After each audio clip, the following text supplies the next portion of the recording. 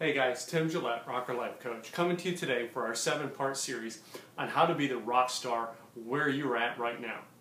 I know that's what uh, everyone asks me. They said, Man, Tim, how can I be successful now? So I'm going to give you seven keys and seven different lessons on how you can become successful at the very things you're doing now, which will build a platform you, for you to have a continued built platform of success. So it's kind of like building a house. Step by step, brick by brick, one success goes on top of another, and before you know it, you've got a successful house built. Well, we're going to start with the first brick. Because where you're at now, you want to be successful there.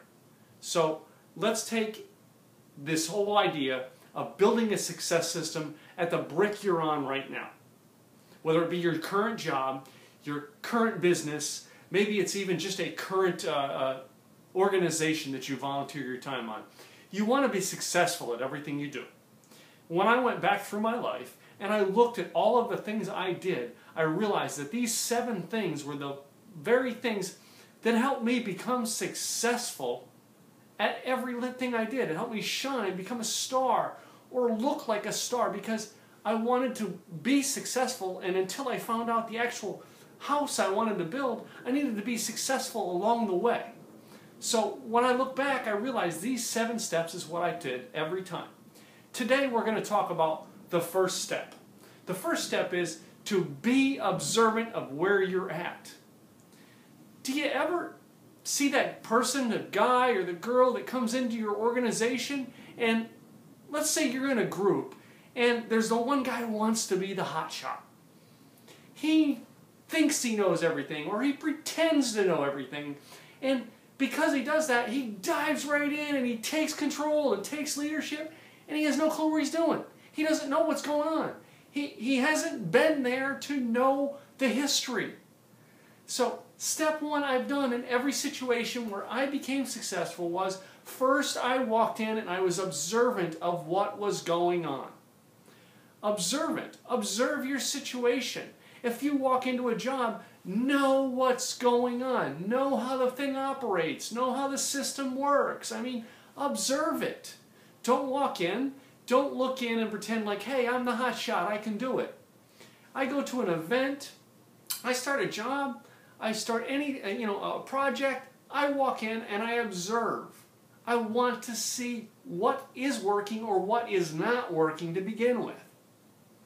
Because you can't make decisions without knowing these things and have it become successful right.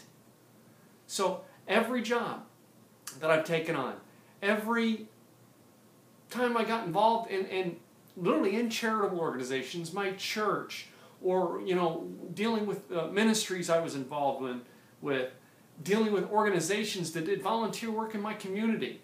I didn't walk in and play the boss. I walked in and just watched others. Now, you're doing some work while you're there, but you're being observant of everything that's going on. Now, if you weren't observant, you wouldn't know where your opportunity is to act. So that's why the step number one is to be observant. Because you're walking in there looking for your opportunity. Your opportunity that's going to bring your success. And you have to come in and find out where it's at. So, step number one is be observant of your situation. Whether you're just starting the job now or you've been in the job for, for months on end and just can't seem to get out of it, take a step back if you are and be observant of what's going on around you. Come back next week, find out the next step in our seven step process of how you can be successful at where you are now. I'm Tim Gillette, the Rocker Life Coach. Thanks for watching.